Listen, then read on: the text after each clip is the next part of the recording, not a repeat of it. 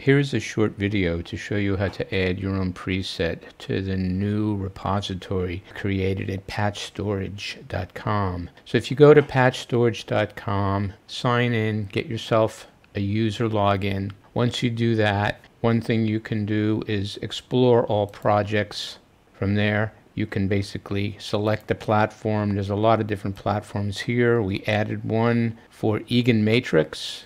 Go and select that you can see all the presets that have been stored for EaganMatrix. Right now there's only the ones that I've uploaded, but anybody that wants to upload their own, they'll show up here under the login of whoever has uploaded them. From the main window, if you don't have a login, you can just explore all projects and you'll see all kinds of stuff there. Or you can go and find EaganMatrix in this list, select that, and you'll be able to see what's there and download stuff if you don't want to actually add presets to the repository. But this video is going to show you how to add them and give some examples perhaps for how you might best document them for everybody when they go and try and find stuff. So assuming you have a login, you'll see a little login name at the top right here. I'll click that. And now the first thing I want to do to upload is simply click the upload, upload a patch option, and I'll get an upload screen. I'll choose what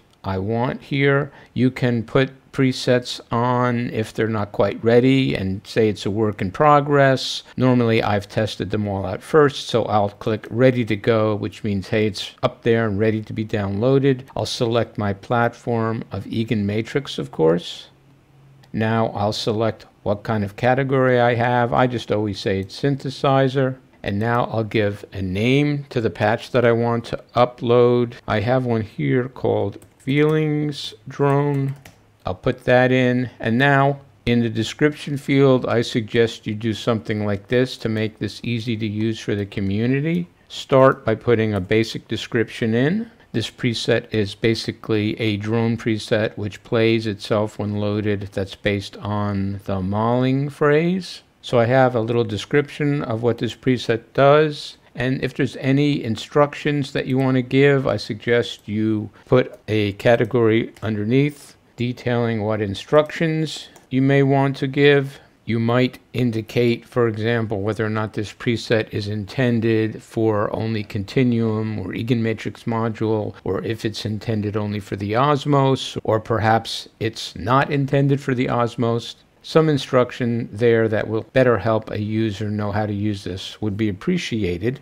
Then I'll normally put information in kind of like the help file for presets defining what the macro controllers, if you have any used, are doing. So I'll put in a section that will define the macro controllers and maybe I'll separate them out a bit to make them easier to see. That's up to you. After that, I might define what the surface functions are, what X, Y, and Z might be used for in the preset. Well, in a drone, I don't use X, Y, or Z, so I'll state that. And then you might put a little section that tells what pedal assignments are being used. Most presets don't assign pedals, they just have them use the default of pedal 1 sustain, pedal 2 sus 1, but occasionally some presets might use a pedal to do some functions, and if it does, it's nice to note that in. Then I like to add some tags most all these presets I want to tag for Haken Audio, Continuum,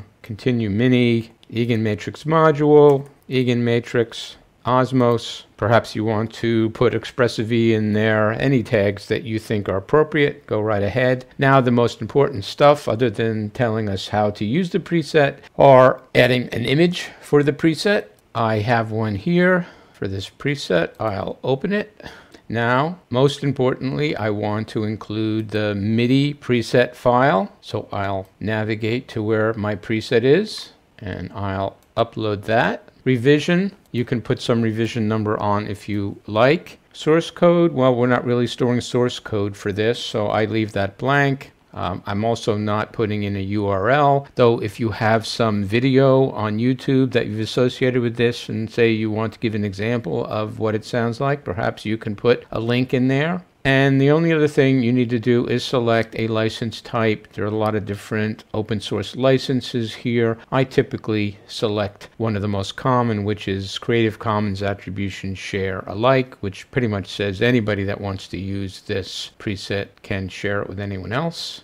And I have all my fields filled in. I'll now select Submit and there you can see it's been added to the repository. If you had an error in one of the fields, it will tell you what the error is and ask you to fix that before submitting. Now when I go in and look at my presets, I can see I have Feelings Drone added, and now it's available for the community to use that simple. Hopefully everyone will start adding their own presets here and in a bit we'll have a huge set of them available for the Continuum and Osmose community.